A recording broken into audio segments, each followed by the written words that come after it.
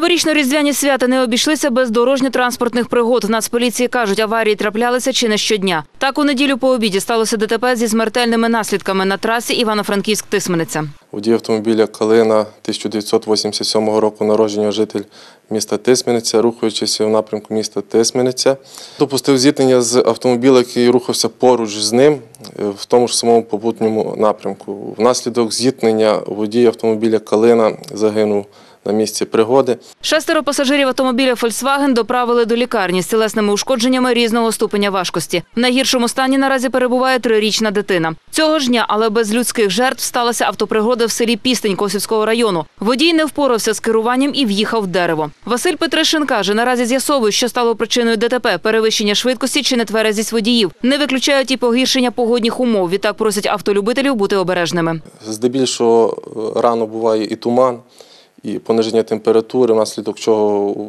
утворюється ожеледиця. Е, В таких місцях, як е, мости, шляхопроводи, перехрестя. Так що на таких ділянках дороги треба бути вкрай уважними, так що комунальні дорожні організації може не встигають своєчасно їх обробити протилежними матеріалами. Наразі працівники поліції обстежують стан доріг міста та області. Комунальникам надають приписи щодо оброблення автошляхів проти ожеледними матеріалами.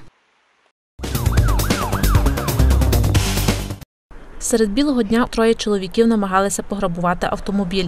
На те надійшов господар авто, який застав крадіїв на гарячому. Зав'язалася бійка, на яку нагодився працівник поліції, що випадково опинився на місці події. Один із чоловіків кинувся на поліціянта з ножем. Той відстрибнув у бік. Після цього зловмисники кинулися навтьоки на своєму авто, яке було на латвійських номерах. Від одного жителів е, міста Калуш поступило повідомлення про те, що невідомі особи намагаються вчинити крадіжку. Покинули місце злочину і намагались виїхати з міста. Оперативними працівниками було перекрито всі виїзди з міста.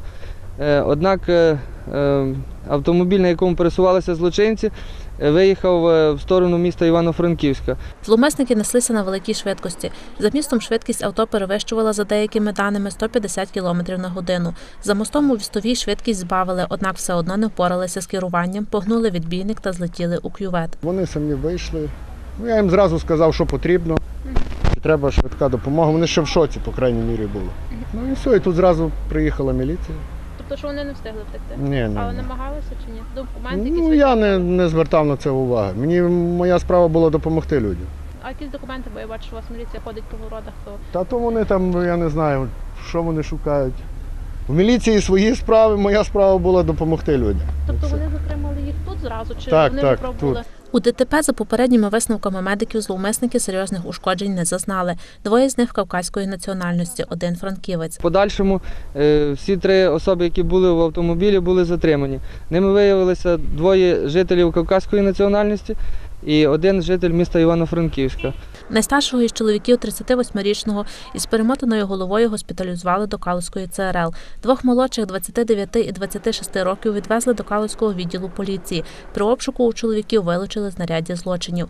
На даний час правоохоронці встановлюють, чи причетні зловмисники до аналогічних злочинів. Адже тільки за грудень минулого року до Калуського відділу поліції надійшло 5 заяв про крадіжки з автомобілів. На даний час е, проводяться заходи щодо встановлення їх до причетності до інших крадіжок на території е, міста Калуш та також інших районів області. За оперативною інформацією, дані особи могли вчиняти і раніше е, крадіжки ручної покладі із автомобілів, а саме ну, сумки, ноутбуки і інші речі, які люди залишають в автомобілях.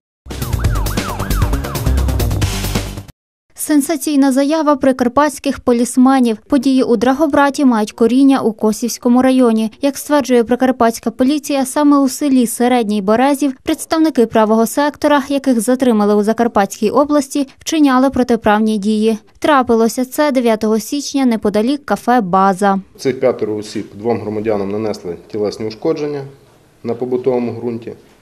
Після цього вони спричинили ще одному громадянину, місцевому мешканцю, тілесні ушкодження, зламавши йому палець руки та нанісши інші ушкодження на обличчі та тілі.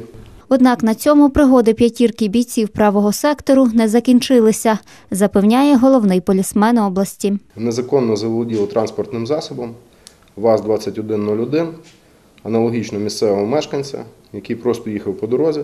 Вони його зупинили з погрозою застосування зброї.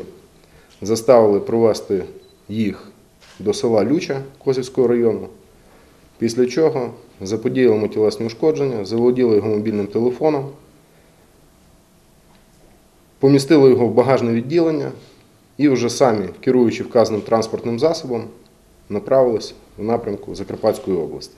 У селі Заріччя Надвірнянського району підозрювані вчинили ДТП і вже своїм ходом потрапили до хати магната на Закарпатті, запевняють у поліції. Наразі розслідування триває.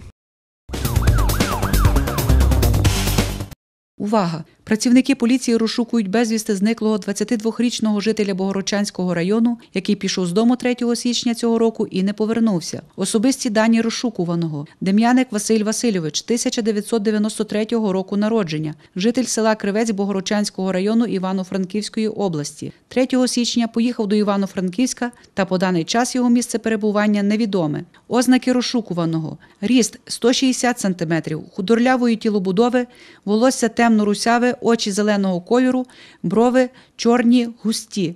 Був одягнений у шкіряну куртку чорного кольору, камуфляжні штани темно-зеленого кольору, светр сірого кольору, кросівки чорного кольору.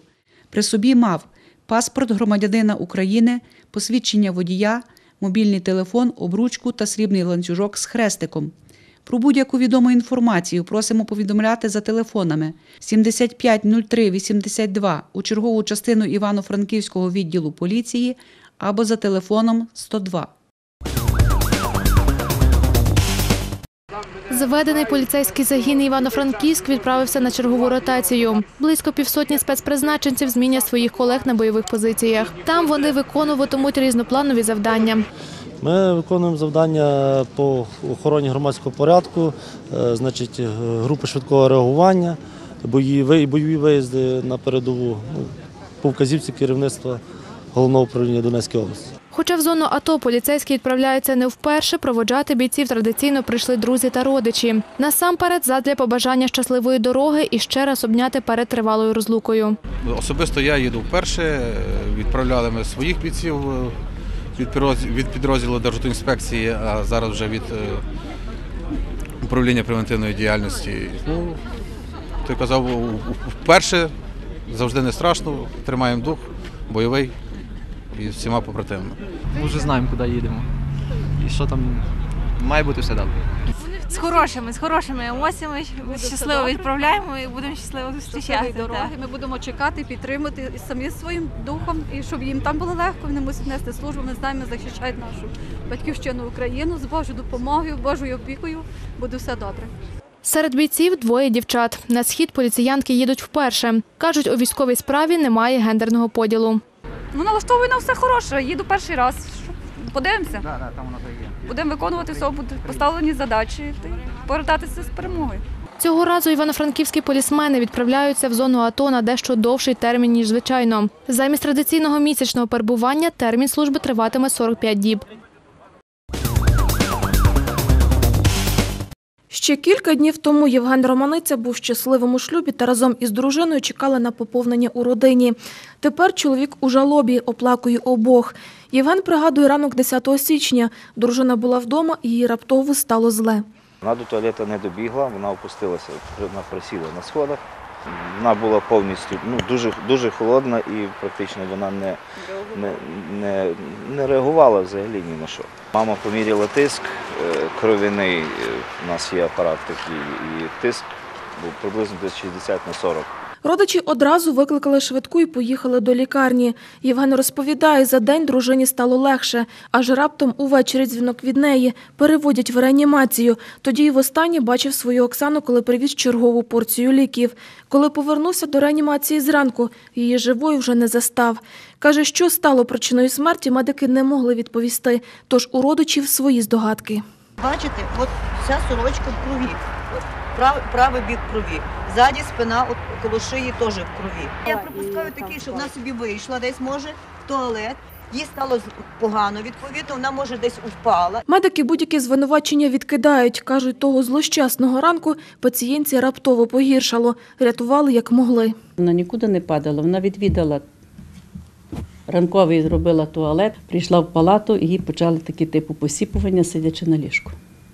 Вона ніде не падала жодного разу.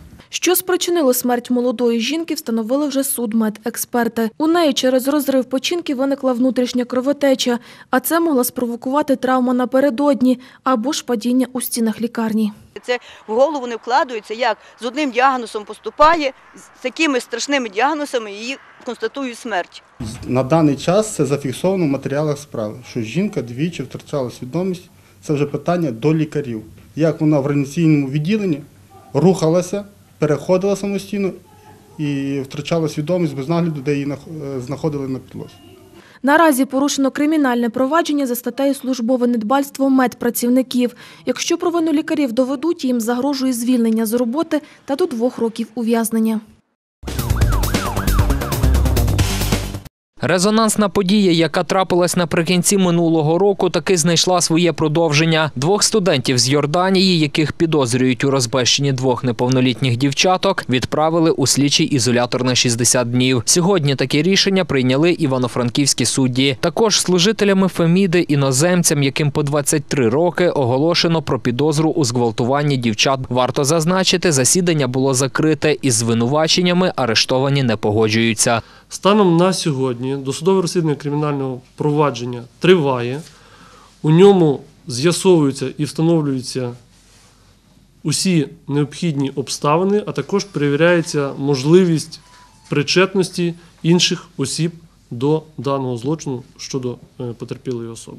Оцінку зібраним доказам і конкретній причетності тих чи інших осіб е, за матеріалами слідства буде давати суд. Це е, зґвалтування малолітньої особи, передбачає покарання за даний злочин, е, санкція статті від 10 до 15 років позбавлення волі. Наразі іноземці знаходитимуться у слідчому ізоляторі до 12 березня.